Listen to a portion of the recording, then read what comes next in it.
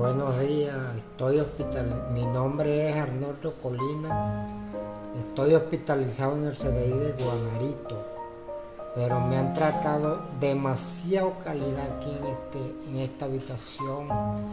No me ha faltado nada, tengo de todo, medicina, comida, de toda cosa. Muchas gracias.